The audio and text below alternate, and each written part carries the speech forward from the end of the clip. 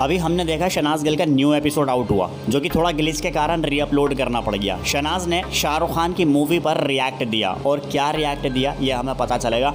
शनाज गिल की मूवी का ट्रेलर चल रहा है जवान से पहले। जी हाँ आपने थिएटर्स के अंदर देखा? जवान देखने के लिए अगर आप गए हों तो उससे पहले शाहरुख खान की मूवी आने से पहले शनाज गिल की मूवी का ट्रेलर चल रहा होगा। छोटा सा टीजर टाइप का यू you नो know, अभी ट्रेलर लॉन्च होगा बहुत जल्द हमारे सामने आ जाएगा। तो शनाज ने वही सब ज़िक्र करते हुए अब क्या ये प्रमोशन है?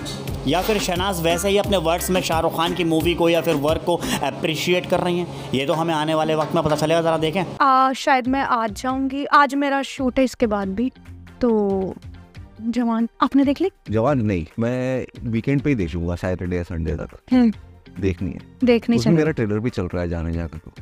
ज़्यादा मज़ा आए मेरा भी। वो ज़्यादा स्मॉल विक्ट्रीज हाँ।